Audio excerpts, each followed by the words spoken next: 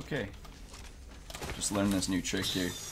Um, the guy I found it from credits some guy on Reddit, but I'll leave the link to the guy that found it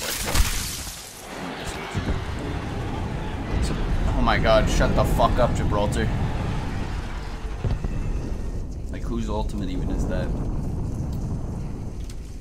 Okay, so basically you can cancel your tactical, this here, with a wall bounce. And at first that seems absolutely useless, right? But I'm gonna show you what you do with that.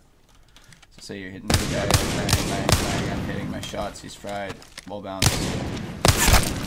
It's like putting your gun away because you get the full run speed, but the wall bounce cancels the animation, so you don't even have to play your gun back out.